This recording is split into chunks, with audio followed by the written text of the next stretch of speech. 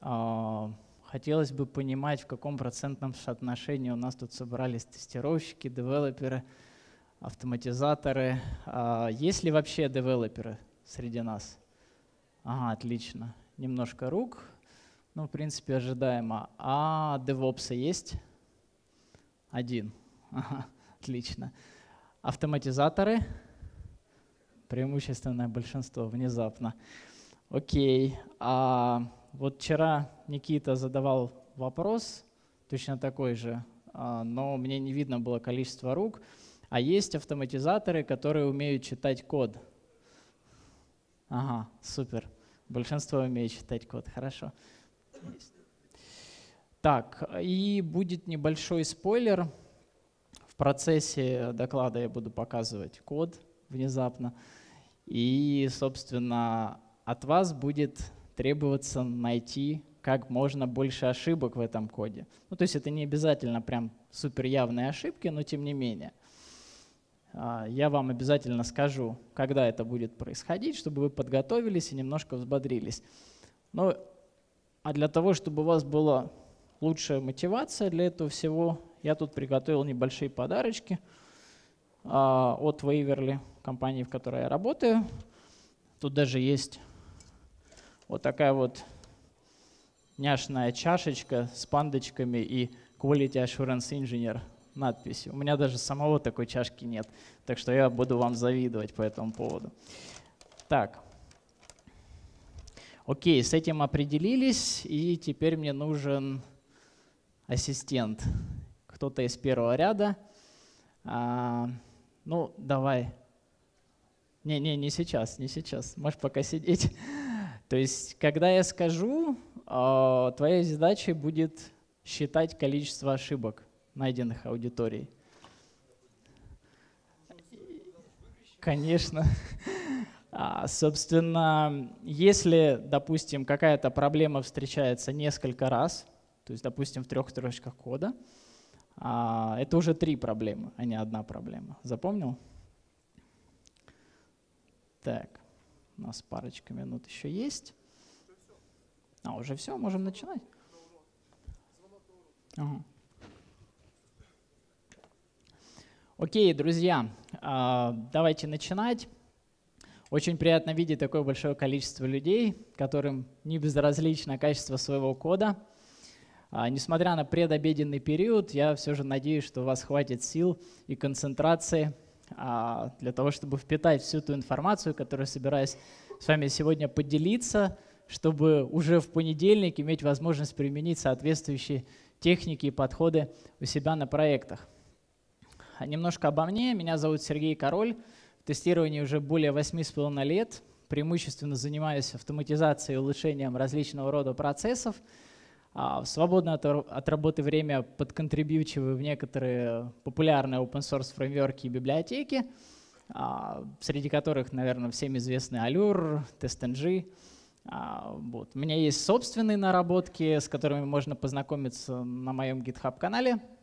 Ну и, собственно, по любым вопросам можете пинговать меня либо в Slack, либо посредством имейла. Кстати, если у вас есть Twitter, у меня тоже есть Twitter, так что присоединяйтесь. Буду рад новым контактам. Окей. Тема у нас связана с качеством тестового кода. Соответственно, нужно для начала понять, что же такое качество кода в принципе. На самом деле, сколько людей, сколько, столько и мнений, но вот некоторые считают, что качество кода напрямую зависит от простоты его восприятия, поддержки, а, использования. А другие же в противовес а, считают, что уже сам факт соответствия требованиям, поставленным к продукту, автоматически делает их код качественным. Но я думаю, каждый из вас хотя бы раз в жизни слышал фразы в стиле «ну главное, чтобы работало», да? Вот. А как там внутри все устроено, уже никого не волнует. Ну и IT Software Quality Consortium опубликовал список основополагающих критериев, которым должен соответствовать любой разрабатываемый продукт, а, среди которых надежность, эффективность, секьюрность и так далее. Все это, конечно, очень классно, но, как вы сами, наверное, уже догадались, оно мало чего общего имеет с современной автоматизацией. И достаточно большая редкость встретить тестировщика, который бы активно использовал какие-либо quality тулы у себя на проектах. Ну, по совершенно разным причинам я не хотел бы вдаваться в подробности. Давайте лучше попытаемся понять, а зачем нам в принципе это нужно, следить за качеством своего кода. Ведь по сути он никогда не попадет в продакшн, да? То есть что вообще заморачиваться? Я сейчас немножко порассуждаю. Ну, вот в первую очередь, наверное, это минимизация технического долга. То есть давайте смотреть правде в глаза. Большинство автоматизаторов не являются профессиональными программистами. Соответственно, вероятность постоянного роста технического долга достаточно высока, что впоследствии может привести к тому, что время, затрачиваемое на поддержку ваших решений, будет значительно превышать время а, на написание новых фичей, что в итоге сделает вашу автоматизацию неэффективной. А второй момент, ну, он, наверное, носит немножко такой философский характер. А, подозреваю, что большинство здесь присутствующих считают, ну, включая меня, естественно, считают себя инженерами. Инженерами по качеству. Так? Так вот, что это за инженер такой по качеству, который не в состоянии обеспечить качество своего собственного кода? Задумайтесь на секундочку, сколько вы времени тратите на код-ревью, сколько вы времени тратите на поиск глазами каких-то совершенно очевидных проблем, ну, в стиле там, несоответствия name конвеншенов или там, съехавшее форматирование, а, какие-нибудь сравнения объектов между, собой, э, между собой через равно-равно и они equals – а, у, ну, причем команды попадаются достаточно разносорсные, как правило, то есть в плане скиллсета. Да, и процессы ревью, как правило, затягиваются на долгие дни с обилием комментов. Вот. У начинающих автоматизаторов это может развить комплексы, они будут бояться создавать новые pull-реквесты, бояться показывать кому-либо свой код. Соответственно, у многих процесс ревью ассоциируется с чем-то ну, неверо... с какой-то невероятной болью. И тут возникает логичный вопрос, а можно ли как-то вот сделать этот процесс более, ну точнее менее, менее болезненным, при этом сократив время на ревью э, и держа планку качества нашего кода на достаточно высоком уровне, независимо от того, каким скиллсетом обладают члены нашей команды. Далее попытаюсь ответить на все эти вопросы. Мы будем постепенно импровить наши подходы. А, в первую очередь посмотрим на, а, как можно внедрить средства статического анализа кода на локальном уровне. А, далее я покажу, как все это вынести на уровень CI с Дженкинсами, докерами, ну и прочей хипстерятиной.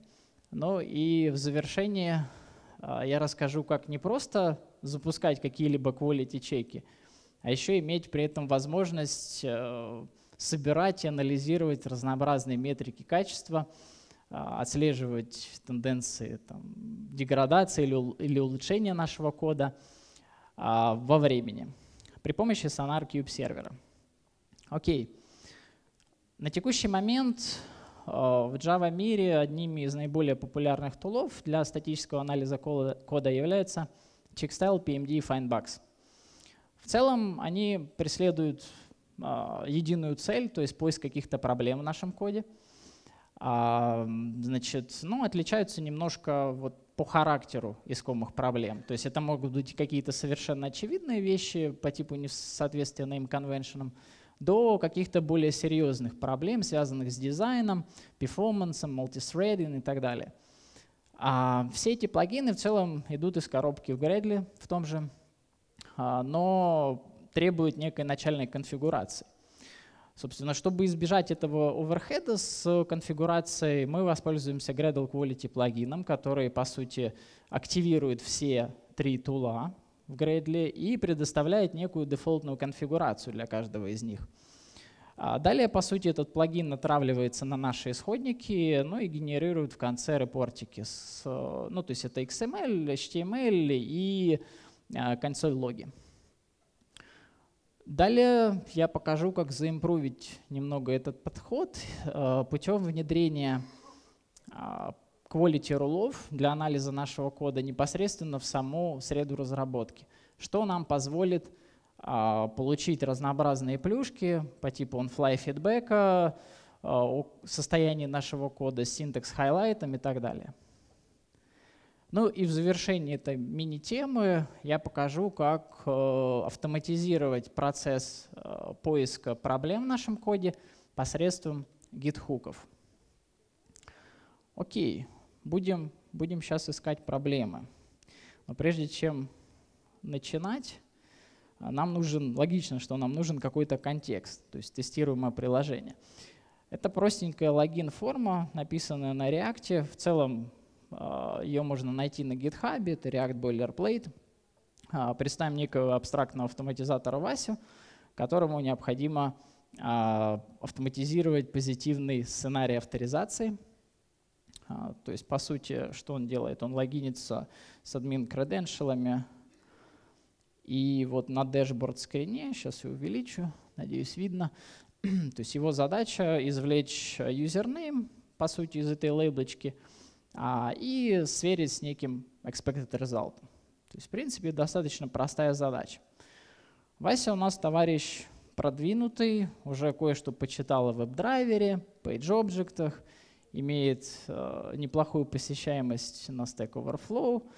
А, собственно, у него не возникло никаких проблем с написанием такого простенького теста. По сути, что он делает? Он получает а, admin user а посредством data провайдера, открывает login page у, а, логинится с соответствующим юзером и верифает, что на dashboard пейдже username равен, равен некому expectation. Ну, как вы сами понимаете, все это лишь вершина айсберга, и в процессе написания кода Вася допустил ряд оплошностей. Соответственно, вашей задачей сейчас будет найти как можно больше проблем в коде. Код достаточно простой, я думаю, многие из вас уже с подобными вещами сталкивались, но тем не менее. А, ну, давайте посмотрим вначале на юзера. Сейчас чуть-чуть сделаю больше или видно. Нормально видно? Угу. Я думаю, да. А, класс юзер, у которого есть username, password, список ролей, конструктор, геттеры – Вроде бы все достаточно очевидно. Есть ли здесь какие-то проблемы? Поднимаем руки.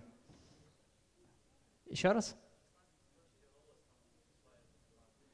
А, ага, отлично. 16 строчка, roles, правильно. Это называется self-assignment. По сути, мы передаем в качестве параметра список ролей, и дальше вместо того, чтобы присвоить их э, инстанс переменной, мы ассайним их сами на себя. Окей, еще. Давай. Ага, отлично. А, что должно быть вместо этого? Лист. Э, дублирую вопрос, то есть э, не вопрос, а ответ. Лист, linked list слишком конкретный тип. Вот. И в качестве предложения для фикса а, нужно использовать лист, да, то есть более общий тип. А как называется эта проблема? Кто скажет, сразу получит подарок. Как вот называется вот эта проблема, когда ну, нам, по сути, не рекомендуют использовать более конкретный тип имплементации, а более общий тип. Что, что еще раз? Нет, нет. Пожалуйста. Ну да, это верно. А как называется вот эта проблема? Пожалуйста. Э, да, то есть, ну, в целом а, называется это loose coupling, то есть э, слабая связываемость. А, в, ну, в целом, если охарактеризовать эту проблему а, ну, вообще на уровне рефакторинга, допустим, мы сейчас объявили linked list, завтра нам понадобится использовать array list вместо linked list, соответственно, это приведет к тому, что нам при, придется рефакторить модель, да, вместо того, чтобы просто заранее объявить более общий тип интерфейса, лист, и передавать в качестве параметра конструктору либо array list, либо linked list. То есть если сделать еще более общий тип, типа collection, да, туда и можно и set передавать. А, потому нужно всегда думать перед тем, как вот такие более конкретные типы указывать в качестве полей вашего класса. Окей, еще какие-то проблемы? Пожалуйста. ну, совершенно... Ну, хорошо, а, здесь нет конкретной привязки к ну, конкретному приложению, да, но можно считать его там и DTO-шкой, но неважно. Давай, какие проблемы?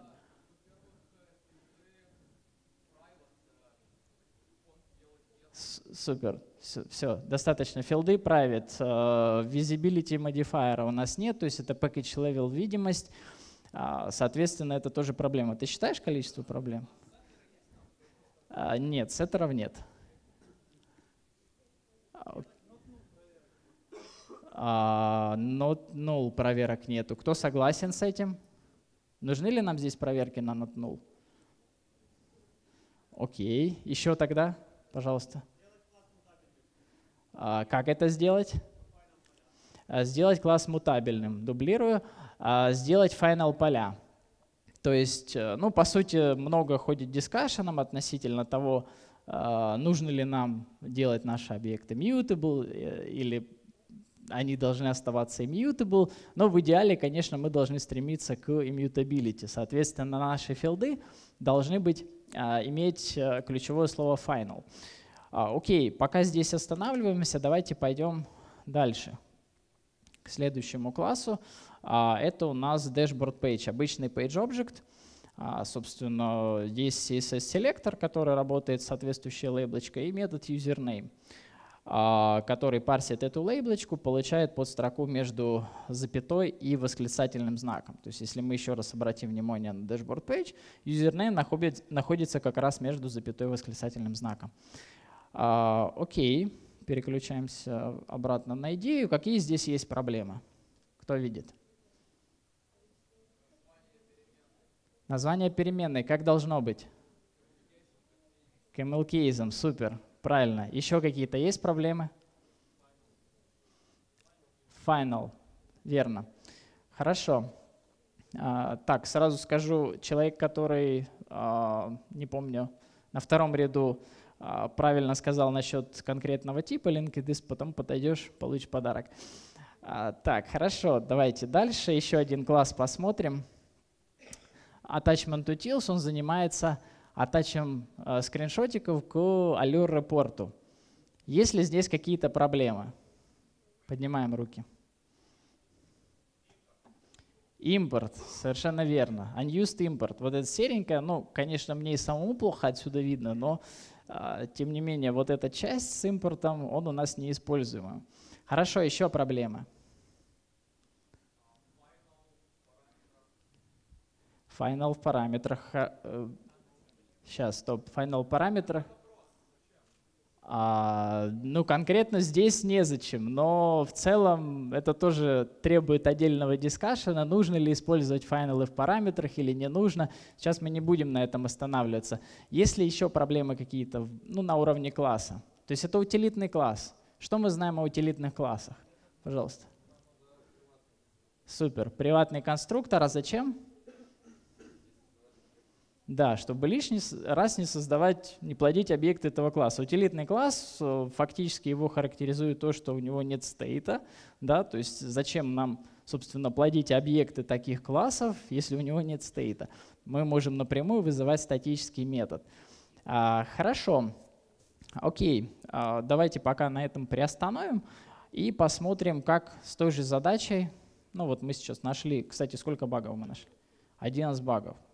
Окей, в принципе, неплохо. Сейчас мы посмотрим, как с этой же задачей будет справляться Quality Tool. А, как я уже сказал, нам достаточно подключить одного плаги, э, подключение одного плагина. А, это его айдишник, и у нас, в принципе, уже идут коробочные решения для PMD Findbox и Checkstyle. Значит, э, я уже подготовил два таска. Э, check quality main, check quality test. Э, первый анализирует э, содержимое main фолдера, второй анализирует содержимое test фолдера. И на выходе мы получаем репортики. Ну, заглядывать внутрь репорта не хочу, нас интересует в данном случае консоль логи. Давайте смотреть, что у нас нашли наши плагины. CheckStyle нашел 11 violations в трех файлах.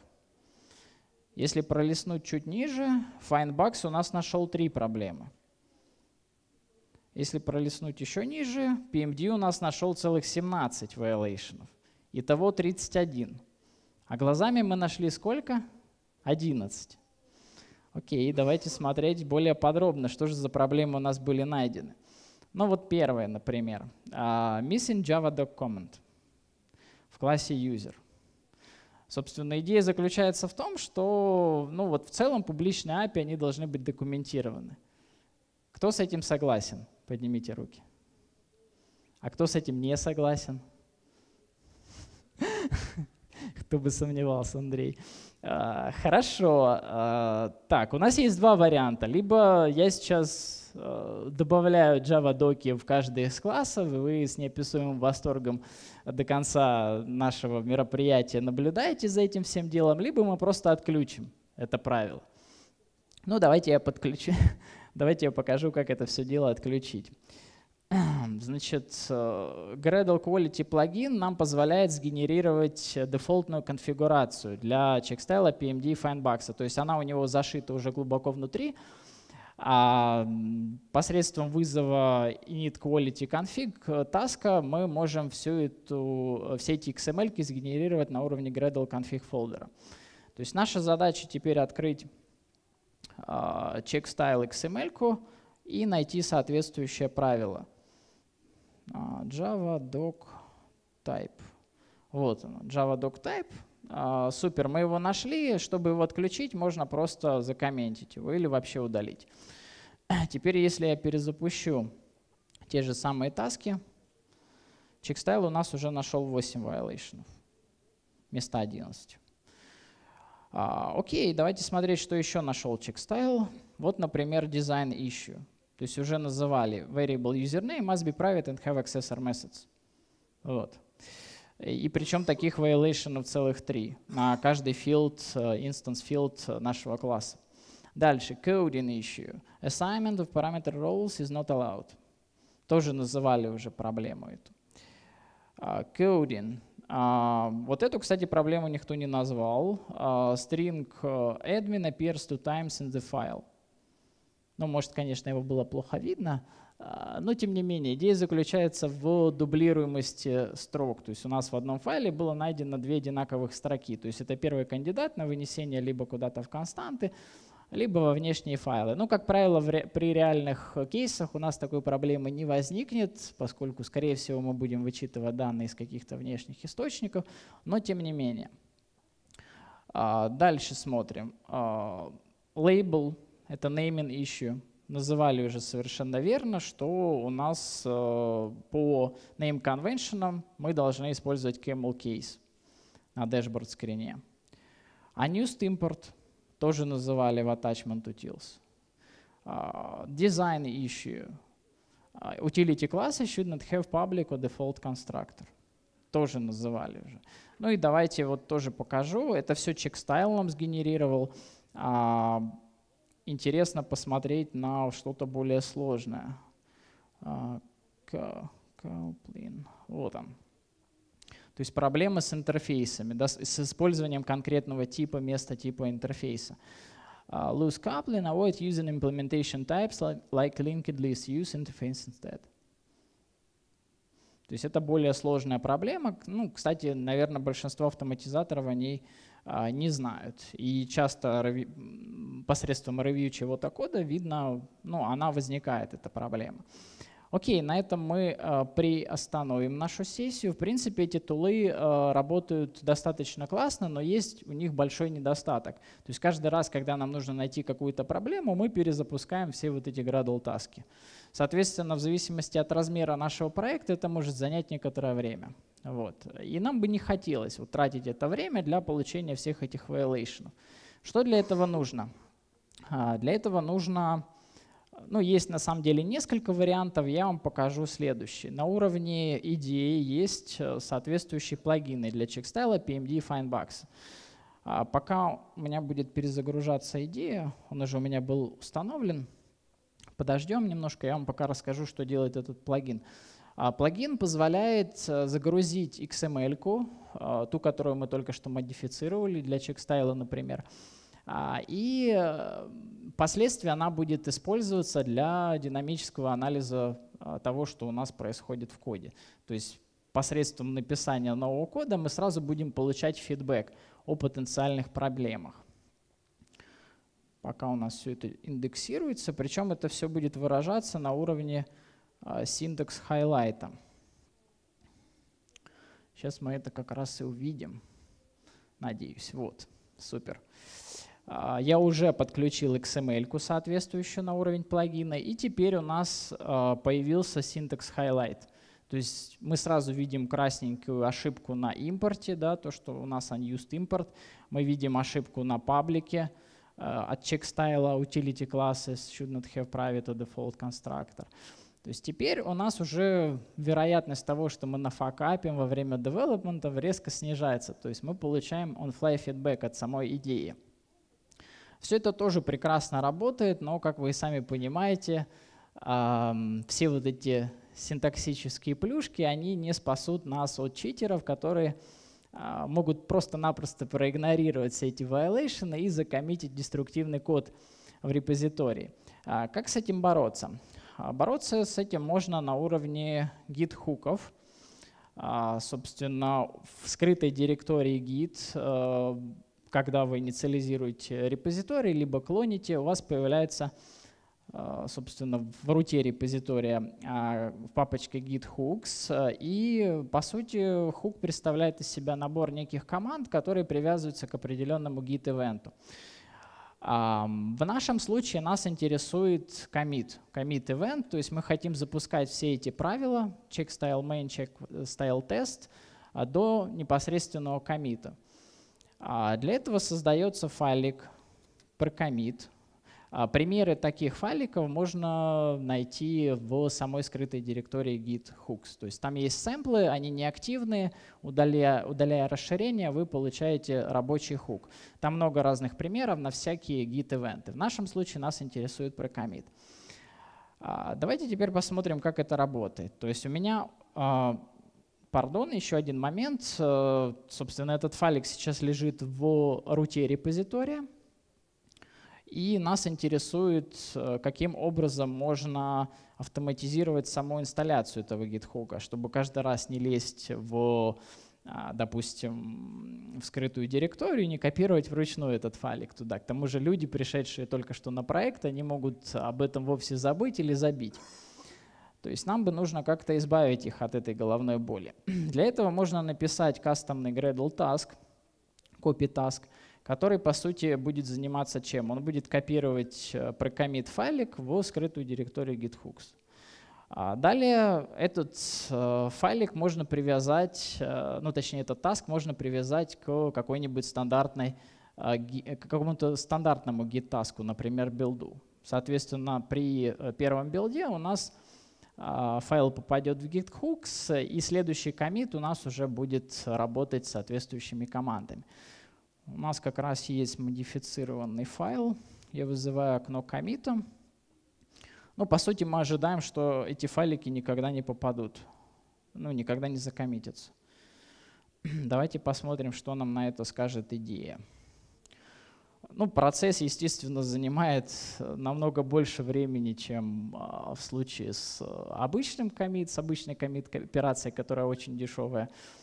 И вот мы видим, что у нас комит зафейлился.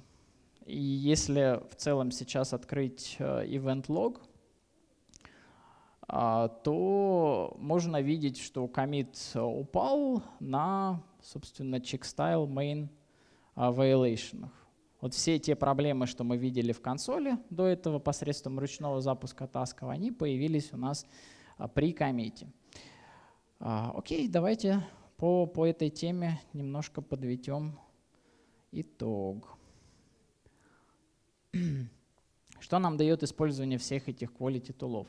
Ну, во-первых, следуя неким стандартам индустрии, а, мы делаем наш код более предсказуемым. Соответственно, люди, которые в итоге будут его ревьюить, они а, ну, им не нужно будет тратить уже кучу времени на поиск глазами вот совершенно каких-то очевидных проблем. И они уже смогут акцентировать внимание на каких-то более серьезных там, архитектурных проблемах, либо связанных с логикой приложений и так далее. А помимо этого, данный подход позволяет вам учиться на своих ошибках. То есть самые глазастые, наверное, заметили, что каждый violation в консоли сопровождается а, линкой, линкой на документацию. То есть вы можете перейти по этой линке и почитать, почему так делать нельзя, ну или не рекомендуется. Ну и при этом следует помнить, что все эти рулы, они не высечены на камне. То есть э, нужно всегда включать голову. Проекты бывают разные, требования бывают разные. Если вам какие-то рулы не нужны, то их можно смело отключать.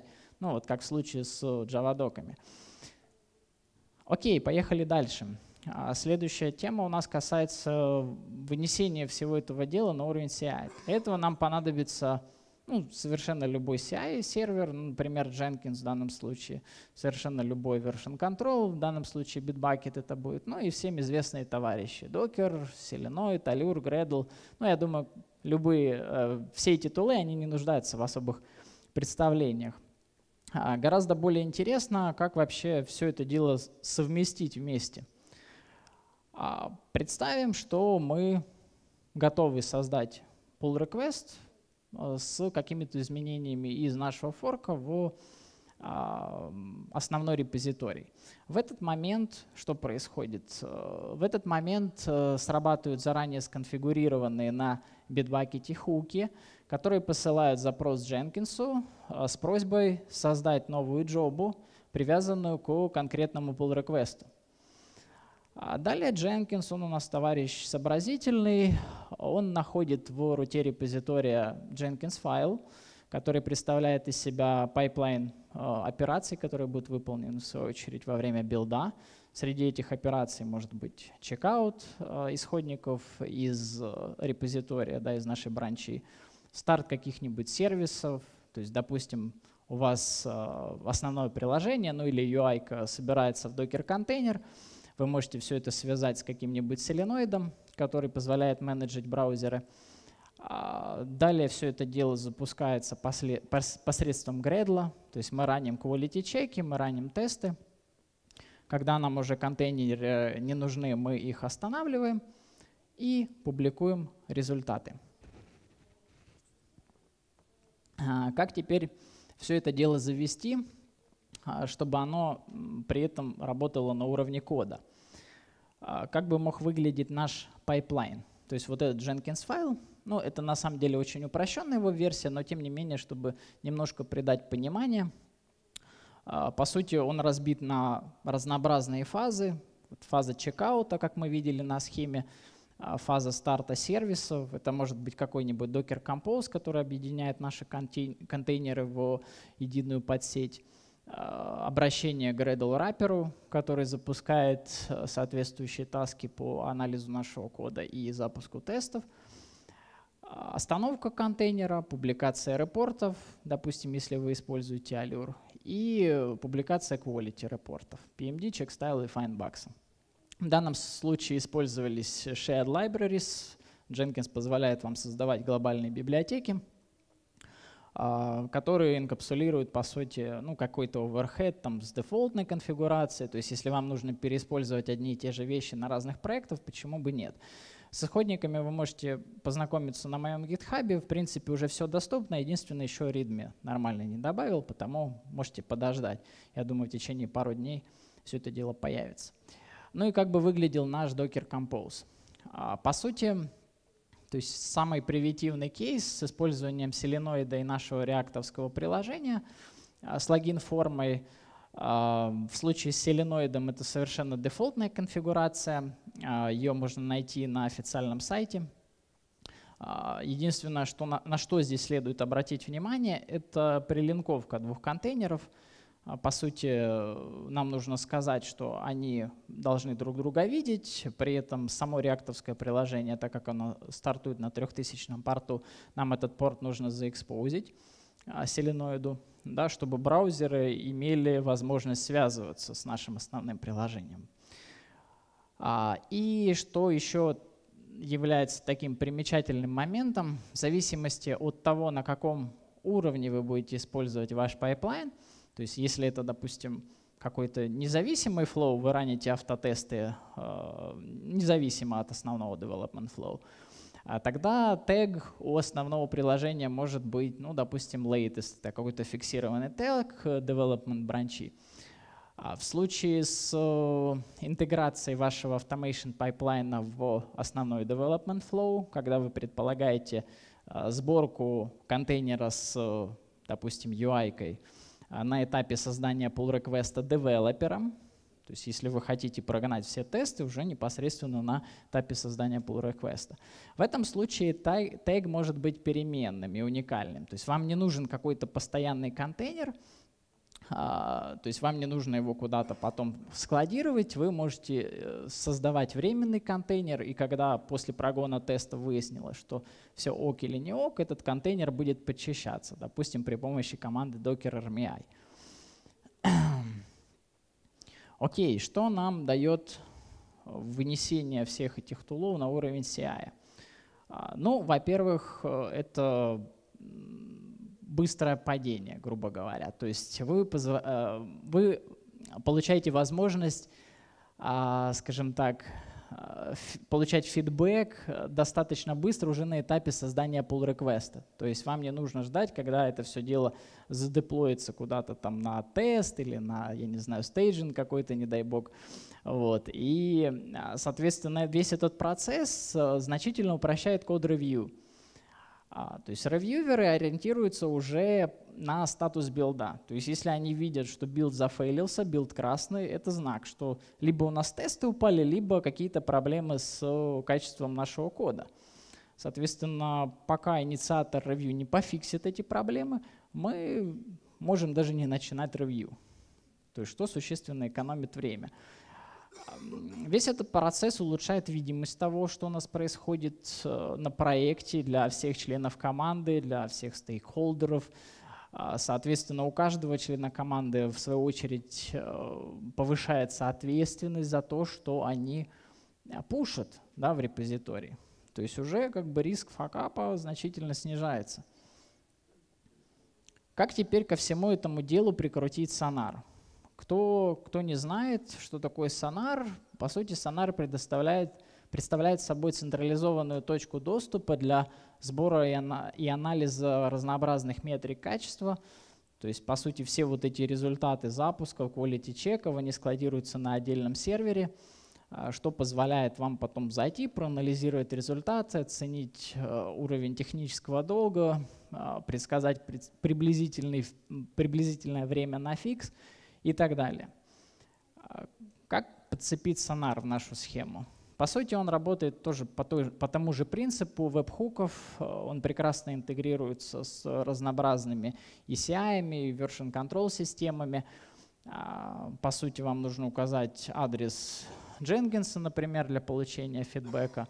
Ну, то есть мы создаем pull request, посредством веб-хуков э, идет запрос на Jenkins, Jenkins обращается к Gradle, Gradle в свою очередь уже вместо использования Gradle плагина, Gradle Quality плагина, а, обращается к Sonar, Sonar анализирует сорсы и в зависимости от того, а, превысили ли мы тот, скажем так, критерий качества, заранее установленным на Sonar, у нас либо будет fail билда, либо а, все будет хорошо.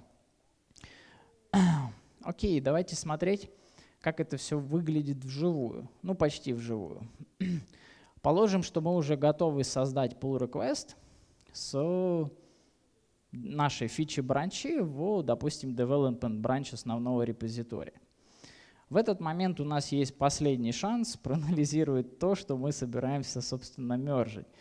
А в данном конкретном случае я специально удалил приватный конструктор. Помним, да, что attachment utils, utility class, соответственно, по идее, Sonar должен эту проблему обнаружить. При этом а, на уровне build Gradle мы заменяем а, Gradle Quality плагин Sonar Cube плагином. А, тоже перетерпевает изменений. Вместо check quality main и check quality test тасков мы уже используем Sonar Cube Task.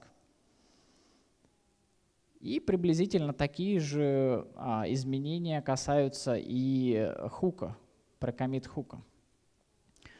Окей, мы готовы создать pull request, мы вводим title и description, то есть это у нас позиция инициатора review. А, подцепляем админ ревьювера, то есть это будет один всего ревьювер, но для нас это будет достаточно. Создавая pull request, первое, что нас интересует, вот самый первый момент, это что происходит на Jenkins. Как мы видели уже из схемы, у нас срабатывает git hook, заранее сконфигурированный. Да? В этот момент Jenkins автоматически создает джобу. То есть вам не нужно, в принципе, париться по этому поводу. У вас уже есть готовый пайплайн, вы руками ничего не делаете. Jenkins создает джобу, привязывая ее к pull request, к идентификатору pull request. На странице джобы а, можно лицезреть а, тот пайплайн, который у нас описан в Jenkins файле. То есть все те stage и, они визуализируются на уровне джобы. То есть там services э, и так далее. В данном случае, в принципе, билд ожидаемо зафейлился. И зафейлился он на step е quality gate. Теперь осталось понять, что же, что же вообще произошло, как анализировать результаты. Причем а, на уровне самой джобы у нас от attach атся два отчетика, алюровский и Сонаровский. Если перейти в алюровский отчет, то в целом здесь все зеленое, все хорошо, наш тест, наш тест запасился. А, то есть он успешно приконнектился к контейнеру, залогинился, и в принципе из скриншотика видно, что все, все было замечательно. Наибольший интерес здесь нам, для нас как раз представляет, что в этот момент происходило, произошло на Сонаре. То есть перейдя по соответствующей линке на Sonar сервер, Первое, что нам бросается в глаза, это зафейлившийся quality gate. Причем а, зафейлился он сразу по трем критериям. То есть у нас количество критикалов, менеджеров и код-смелов превысило допустимую норму. А здесь же на агрегированном дэшборде отмечаются так называемые лики то есть те issues, которые, которые были заинтродюшены в рамках данного билда по сравнению с предыдущими. А, Причем у нас даже отмечается приблизительная оценка а, на фикс этого issue. А, далее нас, скорее всего, заинтересует вкладка Issues, то есть это наиболее интересная вкладка. По сути, она агрегирует все те ошибки, которые, все те violations, которые были найдены в процессе анализа. А, существует достаточно интересная система фильтрации, то есть мы можем группировать issue как по, по количеству, так и по эфорту, то есть приблизительное время на фикс этих всех проблем. То есть если взглянуть, например, на категорию severity, у нас есть critical, менеджеры, если перейти, допустим, на менеджеры, все они отфильтруются, и найдя нужную проблему, можно пронавигироваться прямо непосредственно в код снипет, где эта проблема возникла. То есть в нашем случае это attachment utils, то есть у нас не хватает приватного конструктора. То есть если нам нужны детали, а, мы совершенно спокойно можем а, пронавигироваться внутрь, то есть посредством нажатия трех точек. Здесь же будет детальная информация о том, а, почему, а, почему это проблема, почему так делать не стоит или почему так делать стоит. Причем не только, скажем так, анализ проблемы, но и, скажем так, solution, возможность solution на этот счет. Это в тему о том, почему вы начинаете учиться да, на своих ошибках. А, соответственно, если мы согласны с тем, что это issue, мы можем его законфермить и приосайнить ответственного за фикс этой проблемы. Окей, теперь посмотрим а, на вкладку Measures. А, то есть мы уже отметили, что в целом, ну вот, например, Software Quality Consortium у нас опубликовал список критериев, которым должен соответствовать, э, соответствовать разраб любой разрабатываемый продукт. И вот они здесь все практически перечислены. То есть надежность, э, maintainability, поддерживаемость, да, security и так далее. А, соответственно, пронавигировавшись на нужную вкладку, мы можем посмотреть, а, а что же ну, происходит в нашем коде на уровне поддержки, да, насколько его легко поддерживать теперь стало. А в целом как бы есть э, градация на по, собственно, количеству violations и по э, рейтингу самому, по уровню э, поддерживаемости. И наведясь, например, на определенный кружочек, мы видим, что в Attachment Utils у нас сейчас вот есть код smell и overall rating C. Ну, то есть вот по этой американской системе, что не есть хорошо. А слева у нас в целом есть достаточно неплохая схемка, которая предоставляет нам возможность э, а, оценить э, те проблемы, которые у нас были заинтродюшены в рамках текущего билда и некий overall рейтинг. А, quality профайлы, то есть это тоже одна из наиболее интересных тем. То есть чтобы иметь возможность анализировать наш код, нам нужно предоставить список рулов. То есть в случае с Gradle Quality плагинов это все управлялось XML-ками. На Sonar есть уже, скажем так, дефолтная preceded конфигурация, которая для Java, вот в случае с Java, содержит приблизительно 230 рулов, а, то есть из коробки. И причем, что самое интересное, эти рулы объединяют в себе checkstyle и PMD, по сути, с некоторыми модификациями. То есть э, ребята там с Sonara подтюнили все это дело, они не совсем согласны с тем, а, что предоставляют дефолтные плагины, но это отдельная тема для разговора.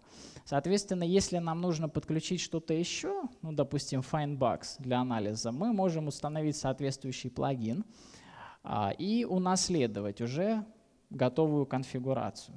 То есть в итоге у нас все правила объединяются, и вот в данном случае на выходе получается целых тысячу рулов, которые натравливаются на наш исходный код при каждом билде. Quality gate ы а, позволяют нам задать вот те самые condition ы, критерии качества, которым должен соответствовать наш билд. То есть это может быть, например, количество blocker ов, code smell ов, critical ов. Э, то есть оно не должно превышать определенного, определенной нормы, заранее заданной. То есть если хотя бы одно из этих правил фейлится, мы, соответственно, фейлим весь билд. А, окей. Теперь посмотрим, как бы выглядел тот же самый процесс со стороны ревьювера. То есть мы подцепили админа, для ревью нашего кода. Он логинится в Bitbucket и, соответственно, видит, что он подписан на определенный pull request, навигируется на данный pull request. И первое, что ему бросается в глаза, это зафейлившийся билд. Зафейлившийся билд, э, по сути, Jenkins с Bitbucket вот посредством Git hook они образуют двунаправленную связь и мы имеем возможность получить вот этот фидбэк о результатах наших тестов непосредственно в виде link и в pull request. Пронавигировавшись по данной link е, мы переходим, мы попадаем на Blue Ocean плагин Jenkins. То есть это такой вот плагинчик, который позволяет еще более няшным образом визуализировать наш пайплайн. Все те операции, которые были выполнены во время билда.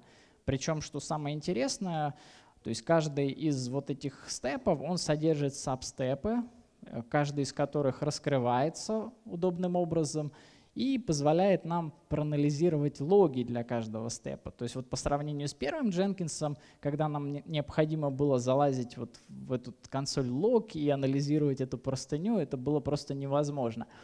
Вот. В данном случае все очень удобненько разбивается по, по step ам. Соответственно, люди, которые будут в итоге анализировать, им уже становится проще. Окей. А, то есть ревьювер, посмотрев на билд, соответственно, оставляет коммент, что, ну, чувак, давай пофиксим вначале sonar violation, а потом будем разговаривать. А, отмечает pull request, что он нуждается в доработках. Соответственно, кнопка merge у нас недоступна, потому что мы заранее сконфигурировали список правил, при котором мы можем в принципе мержить. Ну, допустим, вот количество аппруверов должно ну, быть не, не менее одного. Да, то есть хотя бы один человек должен заапрувить. Ну и количество зеленых билдов. То есть у нас не, должны быть, не должно быть зафейленных билдов, прежде чем мы сможем смержить. А, из своего опыта могу подчеркнуть, что внедрение всех этих инструментов а, позволило ну, в наш повседневный development flow, позволило значительно увеличить производительность всей команды. То есть, ну, у нас эта цифра приблизительно 30%, но у вас это может быть совершенно другие цифры, it depends. Но тем не менее. А, то есть фактически, внедряя тот же сонар на уровень CI, мы получаем непрерывную инспекцию нашего кода. А, Причем Sonar прекрасно интегрируется с, разнообразными CI, с разнообразными version control системами, build системами. В нашем случае это был, была связка Gradle, Jenkins и Bitbucket, в вашем случае это может быть все что угодно, но тем не менее. На вопрос, отвечая на потенциальный вопрос, э, достаточно ли будет э, комьюнити Edition для Сонара, скорее всего нет. То есть если вы какая-то маленькая команда, стартапчик, а, то, скорее всего, Sonar будет оверхедом в принципе. То есть и я бы рекомендовал посмотреть в сторону Gradle Quality плагина.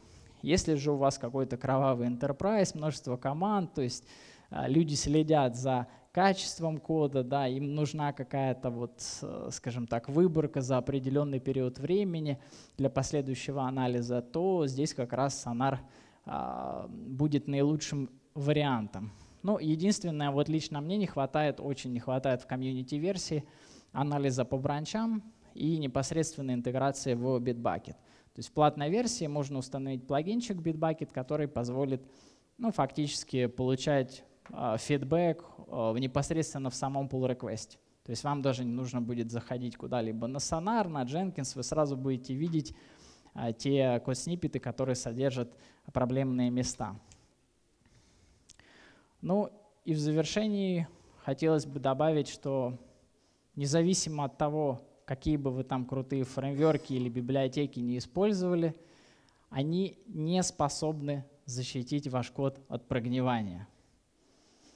Соответственно, одной из ваших первоочередных задач, как инженеров по качеству, является предотвращение таких ситуаций. Вы должны стремиться к тому, чтобы постоянно улучшать свой код, свои процессы, чтобы вся команда осознавала вот ту важность и бенефиты, которые вы получите от внедрения всех этих тулов в ваш повседневный development flow. И тогда, только тогда это позволит расти, развиваться, строить эффективные процессы, как лично вам, вашей команде, так и компании в целом. Друзья, всем спасибо. Больше не смею вас задерживать. С вопросами, ребят, с вопросами тогда уже в кулуарах QR-коды, э, все линки на, скажем так, тулы, которые сегодня использовались, э, GitHub, информацию, контакты, то есть можете просканировать в один клик. Так, и тех, кто отвечал правильно, подойдите ко мне, я вам раздам подарочки.